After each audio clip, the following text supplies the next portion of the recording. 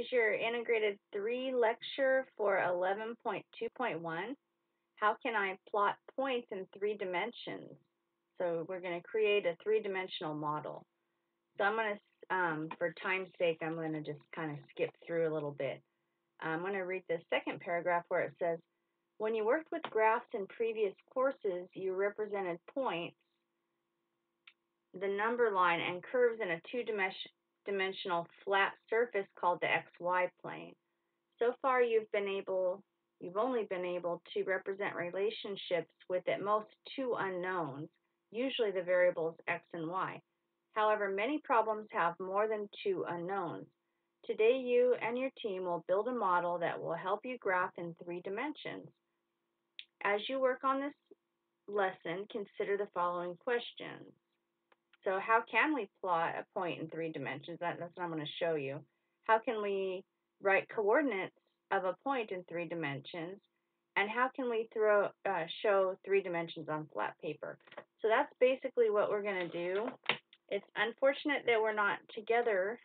Um, it would be more fun for you if you could actually build these. Uh, we're going to do just these uh, first three problems. So it's 11 50 says to graph solutions to equations with three variables, you need to use a three-dimensional coordinate system. So, um, yeah, it just says to get one and make it.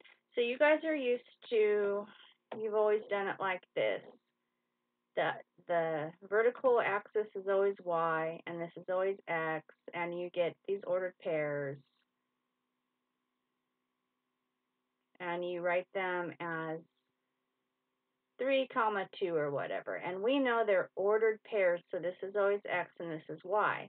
Well, it turns out if you have three dimensions, then you're going to have x comma y comma z. And how are we going to show that? Well, that's that's kind of what we're going to learn um, right now. So basically, I just um, I made a three-dimensional model, and it's conventional for this axis over here on the left to be the x-axis, which confuses me a little bit because I always want it to be this one. But there's the x-axis over here, and the y-axis here, can you see that? And that's the z-axis going up. The z-axis always goes up and down.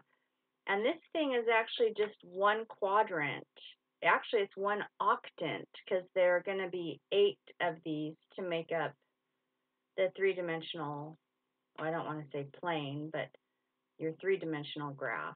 So this is just the positive, um, like see on here we have like, we have four quadrant, oops, four quadrants, one, two, three, four. Well, this is just, you can say this is quadrant one, but then there'd be another one and there'd there'd be four of them and then there'd be some for negative stuff too.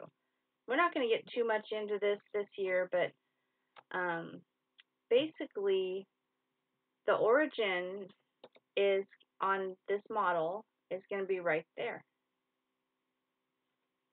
And then that's pretty much what we learn about on 1150 1151 says Place a small marker on the bottom surface of your model at the point where x equals 4 and y equals 2. So by a small marker, they meant like a little, I don't know, a little block or maybe a little bingo chip or something. Um, 4 comma, or 4 and 2. So x is 4.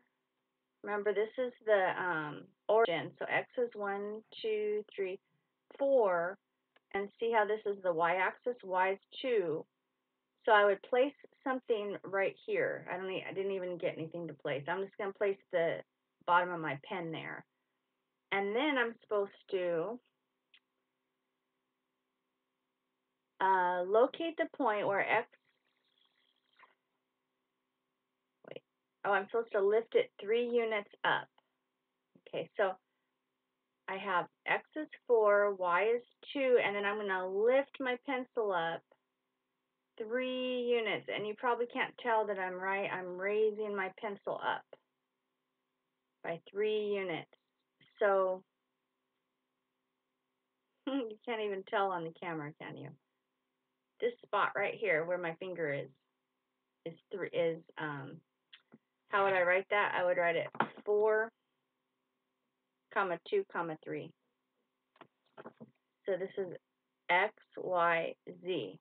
So that's where x is 4, this is x is 4, y is 2, and then I'm, you can't tell that I'm doing this, but I'm lifting my pencil up by 3 and hovering right above that spot. See, there's space in between my pencil and the, and the um, paper. Okay, that's, that's how you can do it with three dimensions. That's how you can um, specify a point in three dimensions. And then letter B says, now locate the point where x is 3, y is 4, and z is 2. So x, the point where x is 3, y is 4,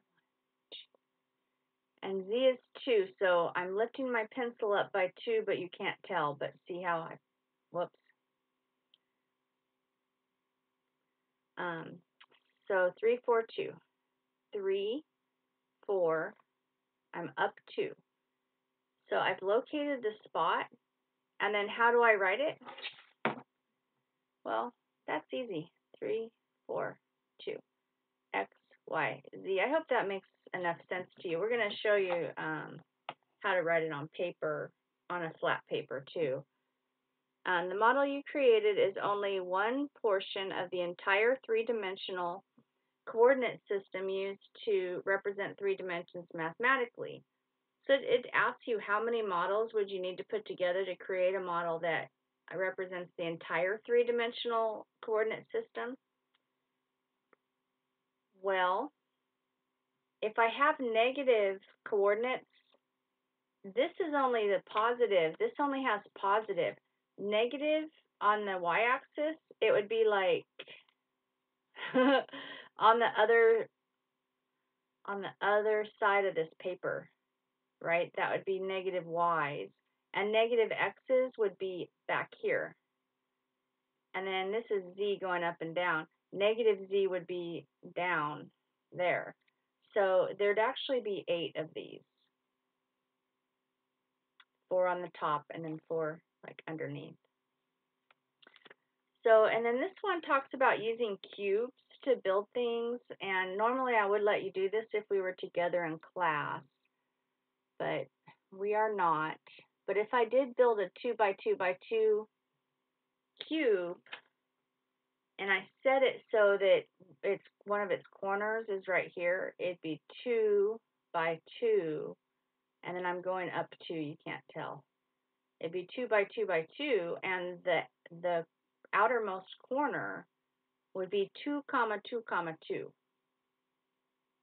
And if I built a, not a cube, but a, a rectangle that was 2 by 1 by 3, then I would go x is 2, y is 1, and then I'm lifting my pen up by 3 and I would have built that out of cubes and you'd be able to see that outer corner here.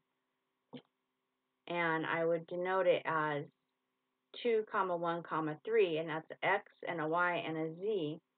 And then now letter C says draw and label a three-dimensional coordinate system on isometric dot paper as shown at the right. Now you might be sad if you don't have any dot paper, but you you can still do this without dot paper. So, and then you add the prism to your drawing. So I'm going to just go ahead and show you how to draw three dimensions.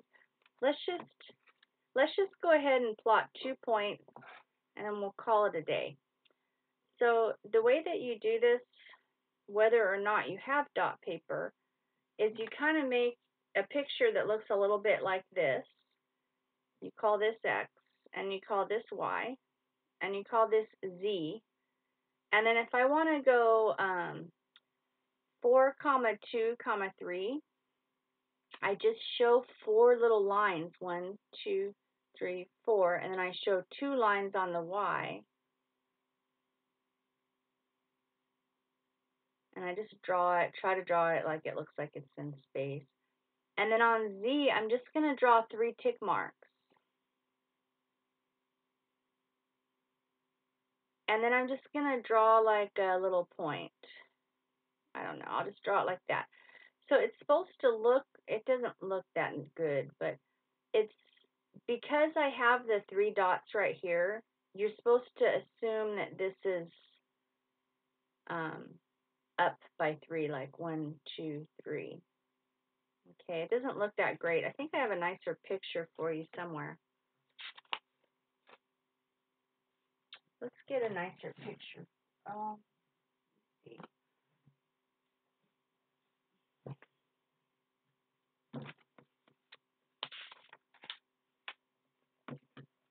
Well, that's the nicest picture you're going to get, I think. Um, let's try another one. Let's do um, 3 comma 4 comma 2. So you draw it. 1, 2, 3. 1, 2, 3, 4. 1, 2. And then you just, this is, remember, X, Y, Z.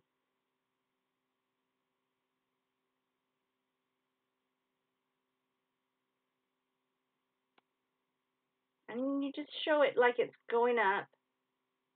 I'm not the best artist. You can even go like that if you want to, to show that it's 2. But we know that the height, we can see that the um, length and width are, you know, 3 and 4. We can see that the height is 2 because we're looking right here. Or you can draw some little tick marks on there. Oops, I should have done it like this. It's supposed to be 2. So um, we're not going to spend a lot of time on this. It's just, um, just I think there's only two sections on this. So anyway, that's your introduction to it, and then you can try some homework problems, and we'll talk more about it during the next lesson.